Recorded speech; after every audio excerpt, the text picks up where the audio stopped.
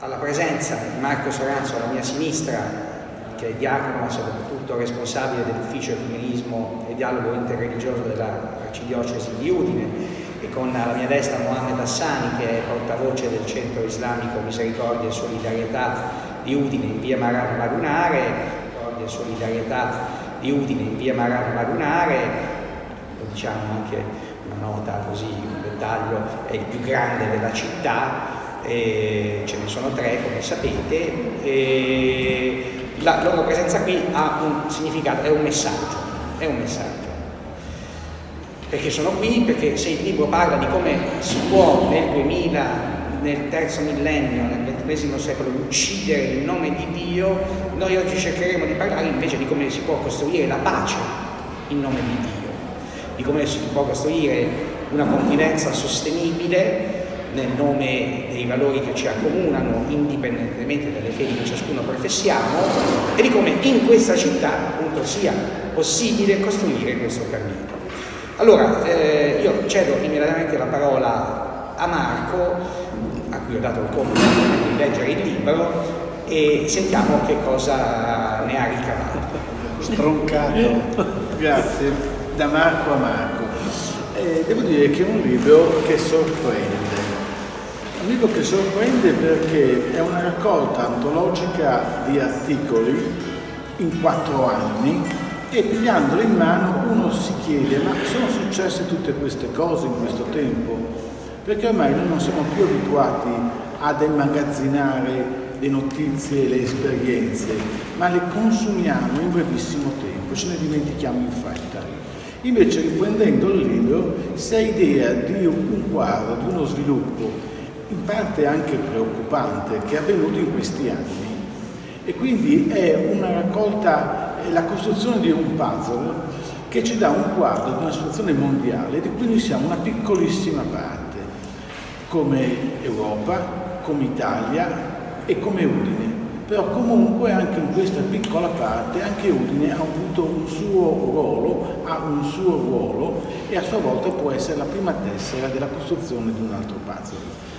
Quindi è un libro che mh, ritengo sia utile da leggere, da sfogliare, perché vengono presi in esame una serie di argomenti, argomenti quadro, che danno un quadro proprio preciso di alcune cose, quindi l'insieme di tanti piccoli particolari costruiscono un quadro d'insieme interessante. Quindi l'invito è a prenderlo e a leggerlo e magari anche a proseguire il lavoro nei prossimi anni, raccogliendo tutte le cose che da qui in poi avverranno, perché l'ultimo articolo mi sembra sia del settembre del 2018, quindi lo spazio di costruire ancora delle esperienze. E, detto questo, c'è un capitolo che mi ha stupito, ho detto ma non è poi tanto interessante dal mio punto di vista, che era quello dei rapporti con la Corea del Nord la guerra tra Trump e Kim Jong-un. Dopodiché poi uno pensa, dice ma in Corea del Nord c'è la più alta repressione nei confronti dei cristiani, sono 50.000 cristiani detenuti nei campi di lavoro. E mi chiedo a volte quando i nostri ambasciatori come dire, politici vanno a parlare del regime se c'è questa attenzione di questa grande repressione fatta per la fede che siano cristiani, che siano islamici, che siano buddisti, un regime opprime le persone per la fede laddove portano un messaggio di libertà e di uguaglianza. E anche questa è una repressione assolutamente sconosciuta e nascosta. E il libro non mette ansia? Il libro mette ansia? No, no, nel libro non mette ansia, perché nel libro ci sono spunti negativi ma anche spunti positivi c'è un'evoluzione, ci sono anche delle, diciamo, delle cose che danno speranza. Quindi una situazione complessa, però una situazione in divenire che apre anche la speranza, assolutamente. Bisogna saperla leggere anche la speranza, magari dai piccoli segni, perché un piccolo segno può aprire una grande speranza. Ok, grazie. Grazie Marco, allora adesso passiamo la parola a Mohamed Hassan. Tanto buonasera a tutti, lieto di essere fra di voi oggi, miei concittadini questa nostra Udine, la signora mi chiedeva prima quanti anni sono Udine, quattro anni, ma, mi sento così appartenente che sento l'appartenenza a Udine. Quattro anni. Quattro anni, meno di quattro anni. A Udine, in Italia sono da più di nove anni. Eh, la storia è, una- è un insieme di, di fatti di cronaca. La storia non è nient'altro che un'evoluzione di questi fatti di cronaca che, nel loro, che in un quadro generale des- descrivono questo, questo quadro che si chiama storia.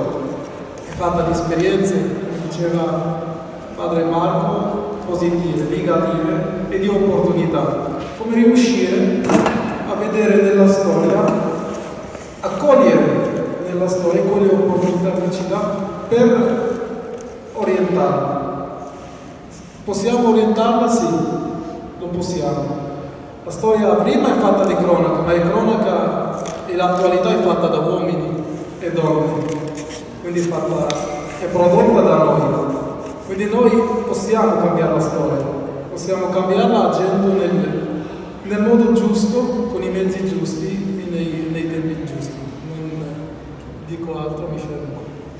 Dacca.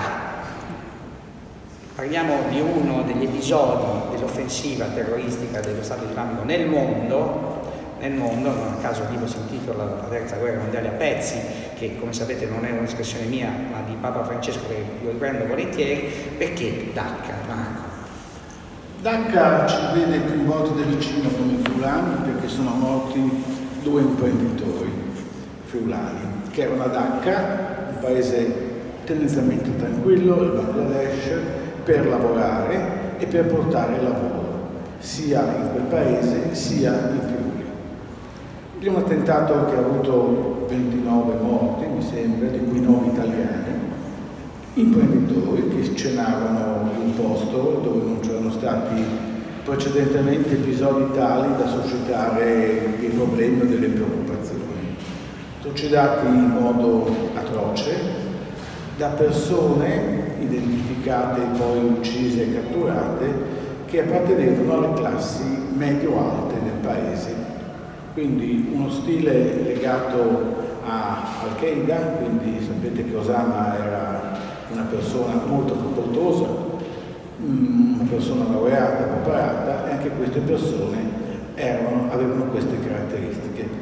Quindi un episodio di violenza e di intolleranza che però non è solo facendo una lettura un po' più approfondita, un attacco religioso, ma è un attacco economico. Quindi eh, spaventare o impedire alle persone di sviluppare una loro libertà e autonomia. È nella scia di altri tentati che ci sono stati, come quello al Bardo a Tunisi, e a Sharm el Sheikh, a Luxor ancora nei tempi passati, lo stesso attentato recente nello Sri Lanka, dove vengono colpiti degli obiettivi con una motivazione religiosa, ma che portano l'impoverimento di questo Stato da un punto di vista economico. E impoverire uno Stato vuol dire sottomettere i cittadini dello Stato. Quindi è un duplice attentato, esterno e interno. Quindi per me Dhaka è un esempio abbastanza emblematico di questa strategia che cerca di fare tutto per impedire quelle che sono delle civili convivenze e uno sviluppo che favorisce tutti. Lo sviluppo porta la libertà. Ecco, la paura della libertà.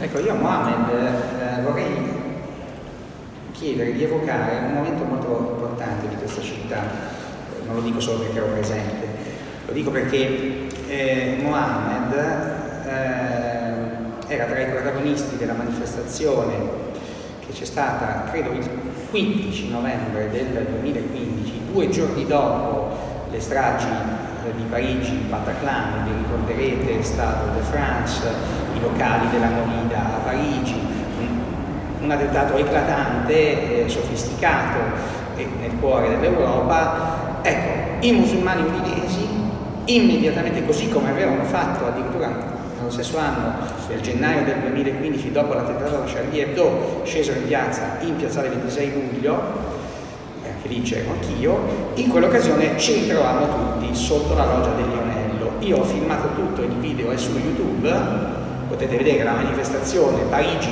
Udine con Parigi, l'abbiamo intitolato quel video, e Mohammed fece un discorso molto interessante, applauditissimo, il più applaudito di tutti perché hanno parlato amministratori parlamentari, il più applaudito discorso è stato suo e quello di una ragazza che frequenta il centro islamico eh, Misericordia e Solidarietà e entrambi sottolineaste una cosa, noi, avete detto, siamo i, i vostri migliori alleati contro il terrorismo. Ci spieghi questa affermazione? Noi siamo i vostri alleati contro, contro il terrorismo. Noi, cosa intendiamo con noi intanto, la struttura di questa frase? E perché siamo scesi in piazza? Forse questa è la, la domanda che può saltare all'occhio. È un fatto abbastanza naturale. Quando parlavo prima dell'appartenenza alla città, in quanto siamo una parte della città, siamo parte integrati della città, viviamo stessa, sotto la, lo stesso cielo, cielo, respiriamo la stessa aria, quindi abbiamo le stesse preoccupazioni, gli stessi rischi e le stesse opportunità. Un rischio che abbiamo alle nostre spalle, ovviamente come, eh, come può far paura ad un, ad un mio vicino, farebbe paura anche a me. Siamo usciti perché da Udinesi, con tutte le altre udinesi, che Udine ha risposto in modo molto positivo eh, a, questo, a, questo, accaduto come in altre, in altre, occasioni, altrettanto anche positive, non solo in occasioni negative. Eh, ha risposto molto positivamente su, eh, trasformando quel momento di rabbia, di dolore, di tristezza in un momento di forza. Forza nell'unione, forse è una città eh, che vede tutti i suoi componenti con, la, con le sue diversità uniti a, eh, sotto un unico slogan contro questo, così, eh, questi terroristi. E lì, I musulmani, la loro apparsa ovviamente sarà, non, non, sarà inosservata, non passerà inosservata perché nell'opinione pubblica sono interessati, perché l'Islam eh, c'entra, c'entra con i fatti. E qui eh, eh, cito anche una parola del, di Papa Francesco eh, che ha parlato di questa, di questa strumentalizzazione. Io, io vedo due, due strumentalizzazioni dei fatti. La prima strumentalizzazione è quella della religione per scopi economici o politici, quello, quello che è, come il, il discorso di, di Dacca. Il secondo, il secondo il, il più pericoloso, il più delicato, è strumentalizzare anche questo fatto per escludere una fetta della società che può contribuire, può essere un mattone principale del cambiamento, trattandosi ovviamente di una comunità eh, che vive dentro la città. Siamo una comunità unica, dobbiamo avere questa, questa consapevolezza e noi siamo fieri di essere udinesi, quanto siamo fieri di essere, di essere musulmani, non vediamo contraddizioni in tutto ciò. Eh, la nostra identità, questa è la nostra fede e questa è la nostra cittadinanza. E la nostra fede ci detta di essere eh, utili a noi stessi e ai nostri vicini, non, senza esclusione di fede. Utile un esempio perché tutti, tutti, i momenti in cui noi abbiamo incontrato la cittadinanza in eventi promossi dalle associazioni, dalla società civile in generale, in tutti i momenti in cui noi abbiamo promosso attività culturali abbiamo trovato una città che risponde in modo molto positivo. Eh, bisogna, avere più, eh, bisogna avere più convinzioni, più fiducia nella costruzione di questa alternativa.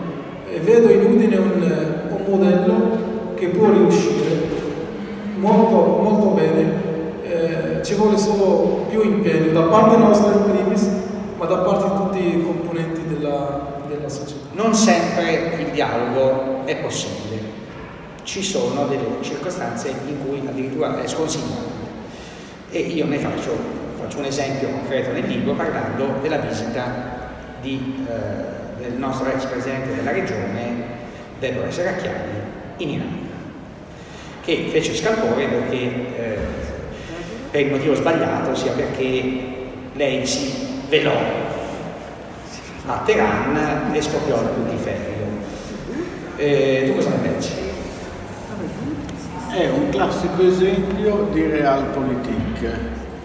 Più che l'amore potevano i soldi.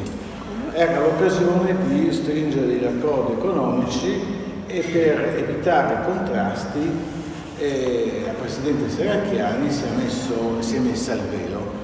C'era un precedente di, di 7-8 anni prima, eh, quando era venuto qui eh, Guarini, mi sembra, non mi ricordo, se come a Udine alla Camera Khatami, Khatami, ecco, associazioni industriali che hanno anche lì fatto velare le statue e hanno escluso alcune persone che avrebbero potuto creare dei problemi e di natura politico-religiosa. E subito dopo l'incontro del Presidente dell'Iran in Italia dove hanno velato le statue. Ecco, c'è da chiedersi fino a che punto per il dialogo e l'apertura dobbiamo rinunciare alla nostra cultura? È una domanda molto complessa eh, perché ci sono degli interessi reali, c'è la necessità di essere in qualche modo accoglienti, però fino a che punto possiamo rinunciare alla nostra identità? E nel libro tu dici che non dobbiamo rinunciare alla nostra identità, sicuramente, eh, però questo è un problema cioè si può dialogare con tutti? Forse no. Forse bisogna aspettare che il dialogo cresca anche da altre parti. Non sempre possiamo essere accondiscendenti per questioni puramente eh, economiche e militari. Io penso a altri episodi di questo tipo fatti dal, dai nostri governi, sui quali sorvolo, ricordo solamente India e Egitto, così avete un'idea di quello che ci è successo nel tempo.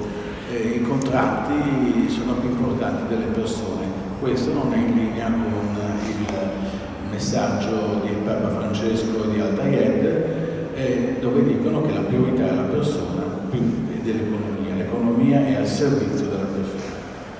Perché non c'è contraddizione, ti faccio questa provocazione, perché non c'è contraddizione tra l'essere musulmani quindi aderire a una fede che ha la sua culla in un posto molto lontano, è essere udinesi.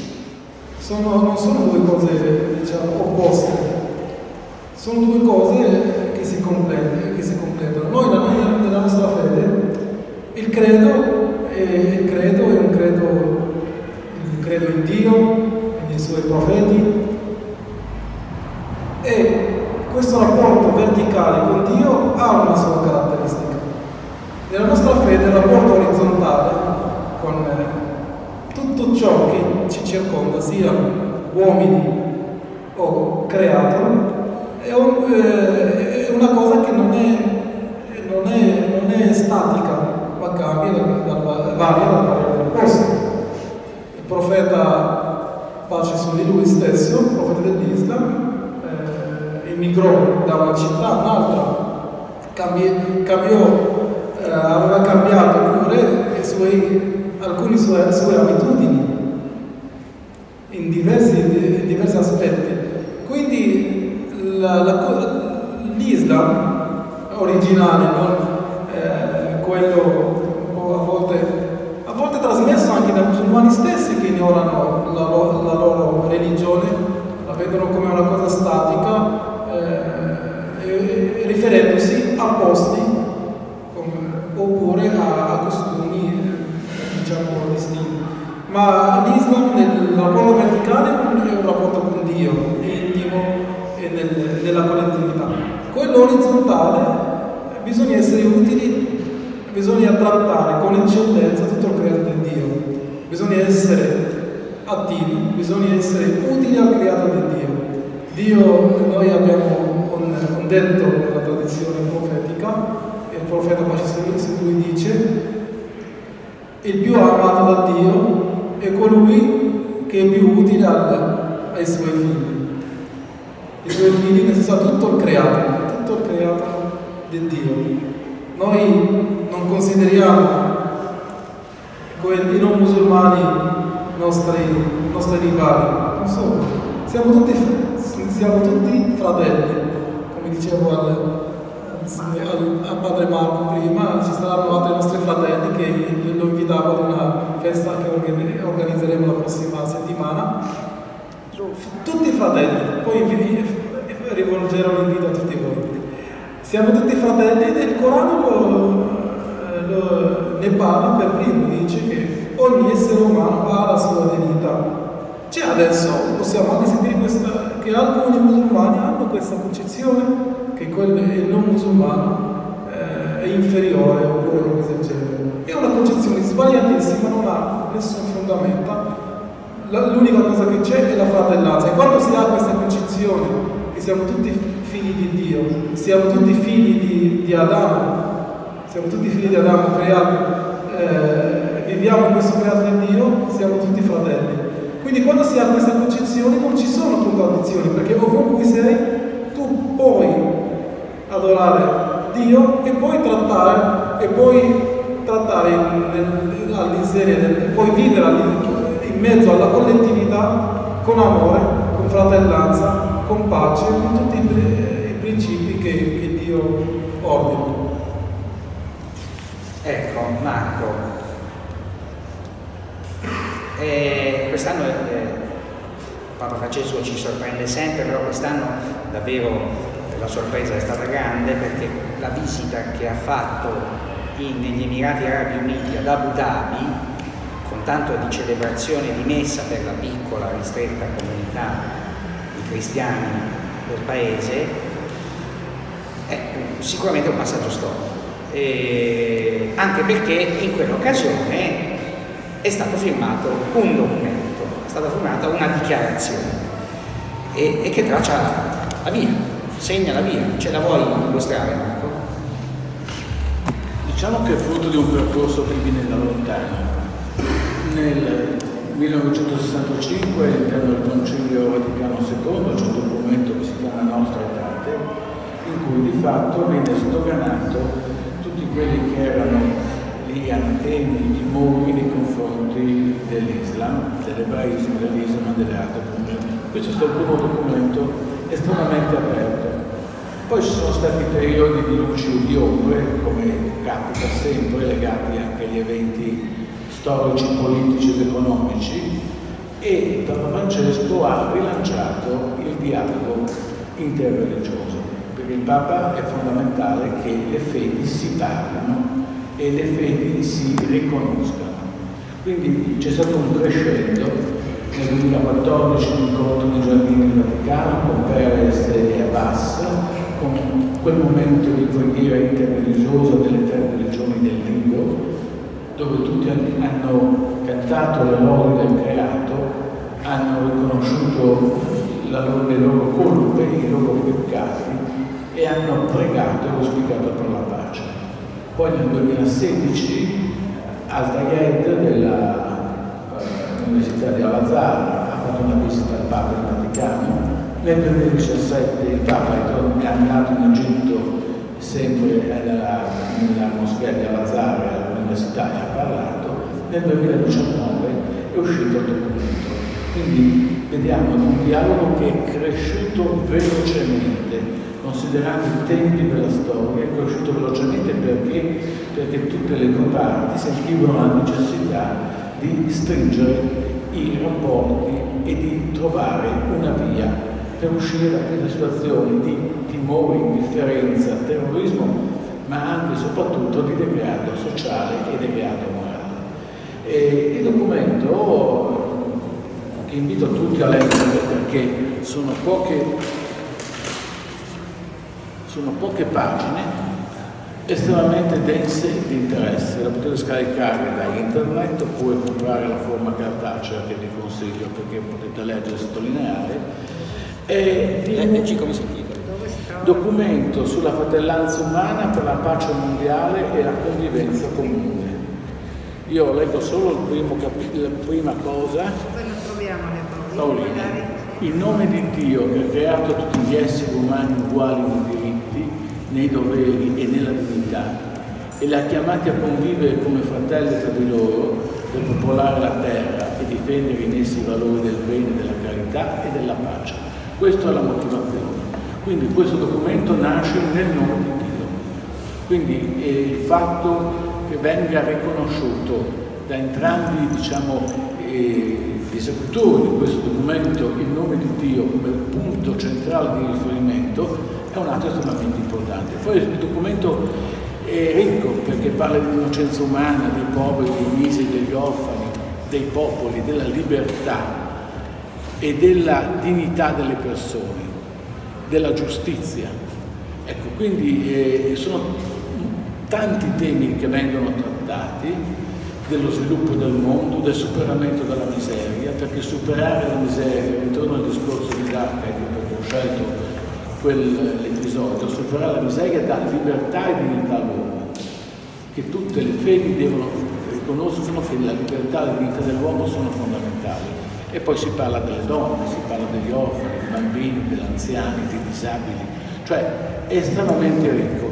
E dopo eh, della libertà religiosa e dice la protezione dei luoghi di culto, templi, chiese, moschee, quindi tutti i luoghi di culto nel rispetto. È un dovere da essere garantito. E dopo c'è un invito, è quello che coglie noi tutti nella parte finale del documento, che dice alla Zara e la Chiesa Cattolica domandano che questo documento diventi oggetto di ricerca e di riflessione in tutte le scuole, nelle università e negli istituti di educazione e di formazione, al fine di contribuire a creare nuove generazioni che portino il bene e la pace e difendano ovunque il diritto degli oppressi e degli utili. Mi sembra una dichiarazione estremamente forte, è un impegno estremamente forte. Io vi faccio che anche le istituzioni scolastiche e le università nei loro ruoli esaminassero questo documento, perché comunque eh, viene tracciata una roadmap, una strada da percorrere, delle linee generali da seguire e impegna tutta la società, anche la società non credente. Volevo chiedere a Mohammed che impressione ti fa vedere la Suprema, la massima autorità della Chiesa Cattolica firmare un documento con eh, l'imam di Al-Azhar e quindi aprire una strada ovviamente fa un effetto positivo. Noi, eh, la nostra azione può essere suddiversa su due livelli. C'è un quadro globale c'è un quadro, un quadro locale. Questi due quadri si completano fra di loro. Il quadro globale non è altro che la conseguenza oppure il risultato di tante unità locali, ma allo stesso anche il quadro globale può influenzare le scelte a livello locale. Quindi a livello globale questa, questo, diciamo, questo documento non sarà solo un fatto simbolico, ma sicuramente eh, sarà un, un incentivo, un, un, un patrimonio per il dialogo interreligioso. Eh, a livello locale bisogna instaurare questo come è stato eh, anche realizzato almeno inizialmente a livello globale. Bisogna creare questo dialogo. Come sottolineavo prima, eh, l'alleanza, nella riflessione sull'alleanza non è solo uno slogan, non è solo un avere gli stessi obiettivi, ma avere anche un'azione, un'azione comune. E questa è un'azione a livello globale, ma a livello locale dobbiamo avere un'azione comune un'azione fatta di, di, un progetto che può tornare utile al, alla nostra città, utile sia in termini culturali, ovvero arricchire il, il quadro di, eh, di, documenti, di ricerche, di dibattiti che, eh, che illuminano l'opinione pubblica, ma anche a livello, eh, a livello, eh, a livello educativo, formativo per, soprattutto per le generazioni a venire, per, parliamo, parlando delle scuole, parlando, si può fare tutto, ma bisogna bisogna avere un, un progetto comune. Eh, arrivare a questo risultato ci vuole, ci, ci vuole dialogo, tempo e, e soprattutto una strategia chiara in cui non bisogna escludere nessuno, la comunità musulmana deve dare il suo contributo, l'autorità, eh, la, la, tutto l'ambiente ecclesiastico deve dire la sua, le autorità, i mass media e ovviamente cioè, tutta la società civile, tutto il tessuto associativo. Allora, l'ultimo spunto Marco. Le emergenze, le tragedie, le disgrazie, le catastrofi sono anche occasioni di riscossa di ricostruzione e in questa ricostruzione forse si può evitare di ripetere gli errori che si erano fatti nella fase precedente. Quindi noi siamo qui a parlare di un libro che racconta, ripeto, una stagione funesta, tragica, quella degli attentati dello Stato islamico in Europa, ma forse proprio questa emergenza, questa offensiva, ci dà la forza per fare ben altro. E quindi torniamo a Udine. La vostra presenza qui, Marco, è un messaggio, è un messaggio importante per questa città. Ce lo vuoi decodificare sul piano più personale possibile? Diciamo che mh, il dialogo interreligioso quindi aperto alle religioni del libro e anche alle altre religioni. È sempre un'opportunità di crescita, anche perché il confronto tra le esperienze tra est e ovest, nord e sud, sicuramente sono esperienze che arricchiscono tutte le parti che vi partecipano. A volte è anche difficile, è difficile perché è, è difficile trovare anche l'interlocutore. ci sono, mi sembra, sette centri islamici in, in diocesi più o meno e non c'è un referente unico con cui poter aprire un discorso. Per cui il discorso può essere aperto con le singole comunità e diventa difficile e faticoso, eh, ammesso che tutti siano interessati ad aprire il, il confronto, perché non si può dare nulla per scontato. Certo che laddove ci possono essere dei riferimenti di interesse eh, se ne può parlare, ci si può incontrare.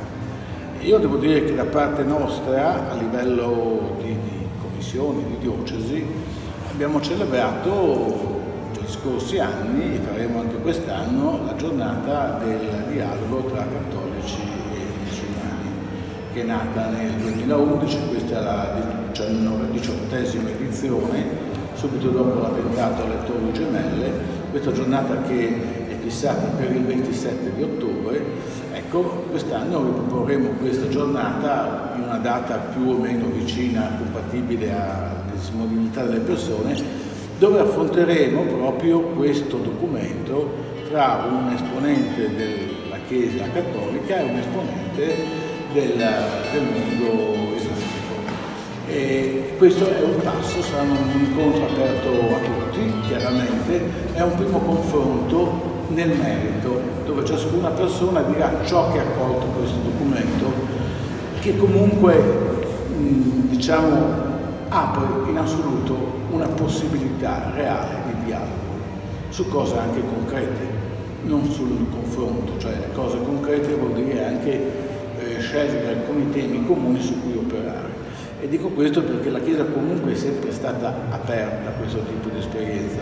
Pensiamo ai corridoi umanitari, al fatto che ci siano in Vaticano persone che sono del mondo eh, siriano, sono stati raccolti dal Papa nella sua visita Lampo, arrivati con la comunità di Sant'Egidio, dove non viene chiesto nulla a nessuno di che religione sia, o il fatto che la Caritas, compresa la Caritas udinese, segue centinaia di persone che appartengono al mondo islamico. Ecco, questi sono già dei segnali di presenza attiva. Certo che si può fare di più, ecco, questo sicuramente sì. L'importante è trovare le due parti che siano disposte a fare un certo percorso, individuando anche dei temi. perché parlare è facile, operare diventa molto più la novità di questo documento, che è un documento, non sono solo delle visite di cortesia o dei discorsi fatti più o meno appariscenti o ricchi di contenuti di amore, ma è un documento, quindi c'è una strada che è stata tracciata. E finisco leggendo le ultime parti della dichiarazione. Ecco, dice questo, questa dichiarazione sia un invito alla riconciliazione e alla fratellanza fra tutti i credenti, sia un appello ad ogni coscienza viva che ripudia la violenza aberrante e l'estremismo cieco, sia una testimonianza della grandezza della fede in Dio, sia un simbolo dell'abbraccio tra Oriente e Occidente, tra Nord e Sud e tra tutti coloro che credono che Dio ci abbia creato per conoscerci, per cooperare con noi, per vivere come fratelli che siamo. Credo che parole più belle di queste non potessero essere scritte e quello che, e quello che è importante sono parole condivise. Ecco, su questo possiamo incontrarci tutti. Mohammed, allora sentito quello che ha detto Marco, la disponibilità da parte della diocesi, c'è, c'è l'intenzione e la tua presenza qui credo testimoni che ci sia anche da parte vostra una disponibilità a fare questo cammino comune, vero? Certo, poi questa disponibilità non è, non è nata solo oggi, ma un percorso di dialogo di, sia con, con, la Chiesa, sia con, con, tutti i componenti della società civile, è un percorso già avviato, parlo per la realtà che rappresento. Eh, si, for, si, può fare sempre di più, ovviamente. Eh, la disponibilità nostra non è un, non è un non deve essere una mia affermazione, ma è un dato di fatto.